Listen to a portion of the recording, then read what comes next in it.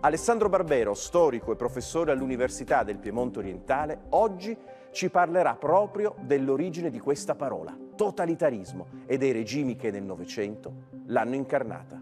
Buona lezione.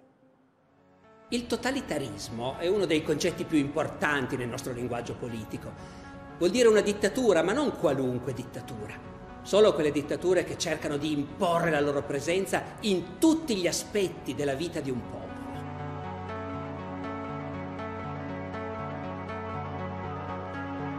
È un termine che nei linguaggi di noi storici indica soprattutto le due peggiori dittature che l'Europa ha conosciuto nel XX secolo, la Germania di Hitler e l'Unione Sovietica di Stalin, i paesi dei campi di concentramento, della polizia segreta, degli arresti arbitrari, delle condanne a morte in segreto.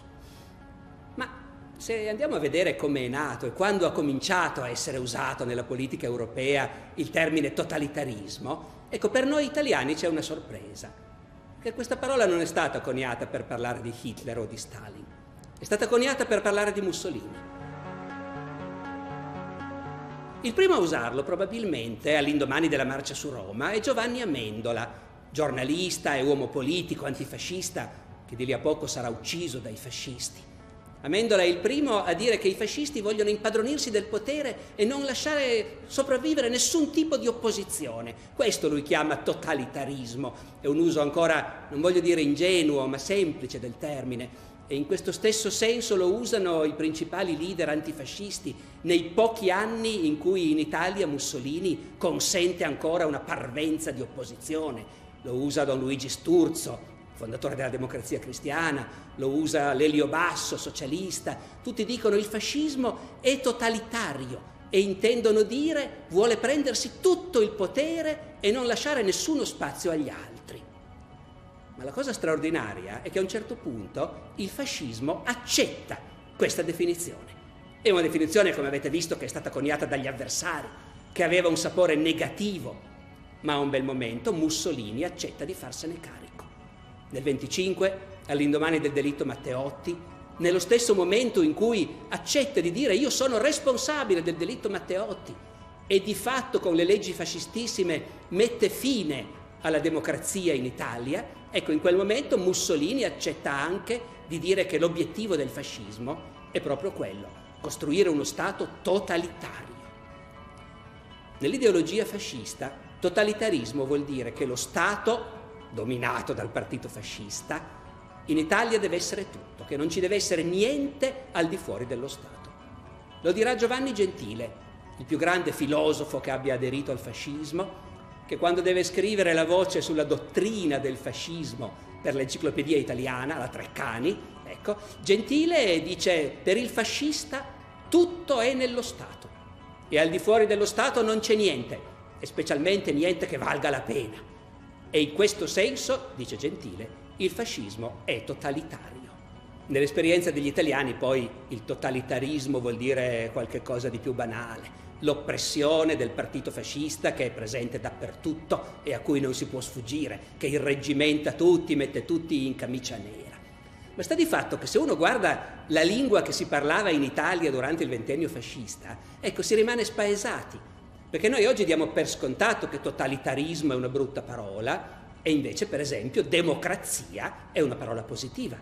Se uno legge i giornali italiani di quell'epoca non è così, è tutto il contrario.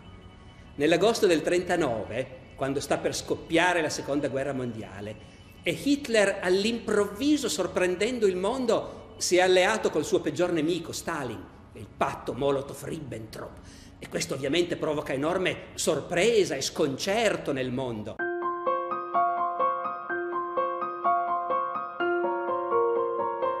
Ecco, in quei giorni i giornali italiani esultano dicendo i paesi, i paesi democratici sono in difficoltà, eh, i paesi antitotalitari sono sconcertati. E per chi legge i giornali italiani questo vuol dire che appunto noi che siamo totalitari siamo, siamo il futuro. Democrazia è una cosa vecchia del passato, essere democratici vuol dire essere smidollati. La cosa curiosa è che mentre il termine totalitarismo è stato inventato per parlare del fascismo e poi il fascismo stesso se l'è posto come obiettivo la costruzione di un regime totalitario, oggi in realtà gli storici non sono più tanto d'accordo sul fatto che veramente Mussolini poi ci sia riuscito a costruire il totalitarismo. Alcuni pensano di sì e fanno notare che comunque in ogni caso la dittatura di Mussolini è qualcosa di nuovo nella storia, di regimi autoritari che non lasciavano libertà, che non permettevano l'opposizione, ce n'erano già stati tanti in passato. Ma quello di Mussolini è il primo regime che non vuole però escludere le masse dalla partecipazione, le vuole far partecipare per forza irreggimentate, costrette a marciare, costrette ad andare alle riunioni e alle adunate oceaniche, ma le masse devono essere in modo appunto totalitario dominate dallo Stato fascista. In questo senso alcuni storici dicono sì sì, il regime di Mussolini è totalitario. Altri fanno notare che però è l'Italia stessa per la sua complessità che non può essere ridotta a un regime totalitario. Pensiamo a cos'è l'Italia di Mussolini, dove c'è ancora la monarchia per esempio Mussolini, vecchio repubblicano, che detesta il re e i Savoia, però non è mai riuscito a liberarsene. E quindi durante tutto il ventennio la dittatura del duce coesiste con la monarchia, col ruolo del re, della famiglia reale, della corte, che non hanno un grande potere concreto, ma ci sono e sono molto visibili. Ecco, già questo vuol dire che il fascismo non è veramente totalitario. E poi c'è la Chiesa la Chiesa che è un'enorme organizzazione internazionale, ma che ha il suo centro, la Chiesa cattolica dico, in Italia, a Roma, la Chiesa che con eh, i patti lateranensi, il concordato del 29, accetta di benedire il regime fascista, è forse il più grande successo politico di Mussolini, però è chiaro che la Chiesa intende usare il regime, si sente superiore, ha obiettivi che vanno ben al di là del supporto al regime fascista. E con la Chiesa il regime comunque deve fare i conti. E poi in Italia c'è la grande industria, le grandi famiglie di industriali come gli Agnelli, i Pirelli, i quali sono così potenti che non sono neanche costretti a essere fascisti. Certo, collaborano col fascismo, ma in un certo senso dal di fuori e il fascismo deve negoziare con loro. Ecco, in questo senso, appunto, sembra più logico riservare la categoria di totalitarismo a regimi molto più efficienti di quello mussoliniano. Il primo che parla di totalitarismo a proposito dell'Unione Sovietica di Stalin è Trotsky. Nel 1936, nel suo libro La rivoluzione tradita. Trotsky, grande protagonista della rivoluzione d'ottobre, poi sconfitto da Stalin nella lotta per il potere, costretto all'esilio Qualche anno dopo Trotsky sarà assassinato dai sicari di Stalin. Ecco, Trotsky nel 1936 scrive questo libro, La rivoluzione tradita, in cui denuncia l'Unione Sovietica di Stalin, che non è quello che noi volevamo fare, non è quello che noi comunisti volevamo, dice Trotsky. Assomiglia piuttosto alla dittatura di Mussolini. Trotsky evidentemente non conosce così bene l'Italia fascista, non si è posto il problema se davvero sia un paese totalitario o no, ma quello che gli interessa è denunciare l'Unione Sovietica di Stalin come l'esempio peggiore di totalitarismo. E poi dopo la Seconda Guerra Mondiale, quando il regime nazista ormai è sparito, ma rimane nella memoria di tutti, e invece l'Unione Sovietica è lì, Stalin è lì, siamo in piena guerra fredda, esce un libro fondamentale che è il libro di Hannah Arendt, la filosofa tedesca, Le origini del totalitarismo. Ed è proprio Hannah Arendt che per prima dice il fascismo italiano lasciamolo fuori, è un'altra cosa. I due totalitarismi sono quello sovietico e quello nazista. E certo, è facile mostrare che questi due paesi hanno molte cose in comune, l'abbiamo detto, i campi di concentramento, la polizia segreta, gli arresti arbitrari, il terrore.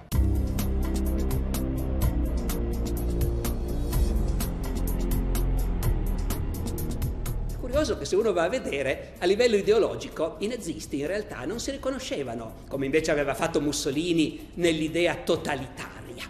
Eh, I nazisti si sono sempre presentati innanzitutto come i grandi nemici del comunismo e preferivano che fosse il comunismo di Stalin ad avere, come dire, il marchio di fabbrica totalitario. Se uno va a leggere i propositi di Hitler nel suo Mein Kampf, Hitler lì si propone appunto come il grande nemico del comunismo e quindi il difensore dell'individualismo occidentale. Ecco.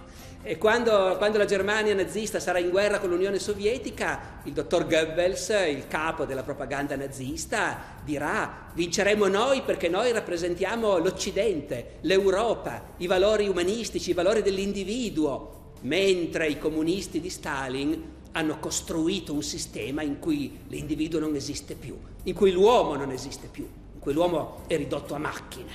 Questa è propaganda, naturalmente. Chi analizza il funzionamento reale del regime nazista ci vede tutti gli aspetti del totalitarismo, a partire dal fatto che nella Germania nazista, già all'indomani della presa di potere di Hitler, non può esistere nessuna organizzazione, nessuna associazione che non si sia allineata, come dicono loro, che non sia diventata nazista.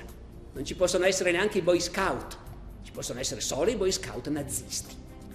Ecco, detto tutto questo, una riflessione sull'uso che noi facciamo del concetto di totalitarismo non deve fermarsi qui alle somiglianze tra l'Unione Sovietica di Stalin e la Germania nazista. È un rischio che si corre troppo spesso, anzi, un po' perché qui in Occidente l'Unione Sovietica ha continuato sempre a essere considerata come un nemico da battere e quindi, e quindi andava bene a tutti sottolineare la sua somiglianza che c'era al tempo di Stalin con la Germania di Hitler. Ecco, un po' per questo, un po' per pigrizia mentale, troppo spesso ci comportiamo come se una volta stabilito che sia la Germania hitleriana sia l'Unione Sovietica di Stalin sono, sono paesi totalitari, ecco, avessimo detto tutto. Come se avessimo dimostrato che sono la stessa cosa e che tutto il resto del mondo invece è diverso. Come se il mondo del Novecento fosse stato diviso in due campi così netti. E questo è uno sbaglio, vuol dire non capire più, non ricordare più com'era fatto quel mondo. Perché è verissimo che l'Unione Sovietica di Stalin assomigliava alla Germania nazista, avevano campi di concentramento molto simili, prima che i nazisti ci mettessero anche le camere a gas, che i sovietici non ci hanno mai messo. Ma altri aspetti invece sono sorprendentemente diversi. La Germania di Hitler era un paese fondato su una concezione razziale sull'idea del popolo eletto, i tedeschi, e gli altri popoli inferiori, fra cui noi italiani naturalmente, e poi i subumani da eliminare, gli ebrei, gli zingari. Ecco, in Unione Sovietica non c'era niente del genere. Se invece uno va a cercare un paese che negli anni 30 aveva una politica razziale molto precisa e ufficiale, ecco, con grande sorpresa scopriamo che gli Stati Uniti, la più grande democrazia del mondo di allora, erano un paese ufficialmente razzista, dove c'era una politica razziale, dove la popolazione era censita per razze, lo è tuttora, fra parentesi, ma dove soprattutto in una parte dell'Unione i neri erano discriminati concretamente, non avevano diritti politici e non gli era permesso sedere nell'autobus sui posti riservati ai bianchi.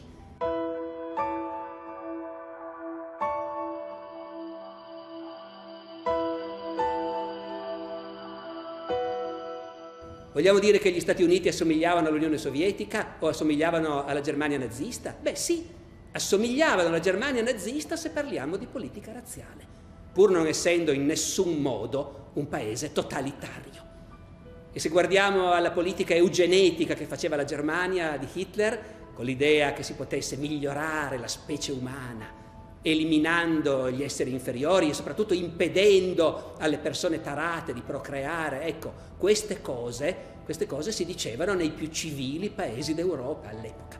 Si dicevano e si mettevano in pratica, si provavano a mettere in pratica nei paesi della Scandinavia, per esempio. Questo non significa che uno possa fare delle graduatorie e dire, ma in fondo Stalin è stato meno spaventoso di Hitler, non è questo il punto.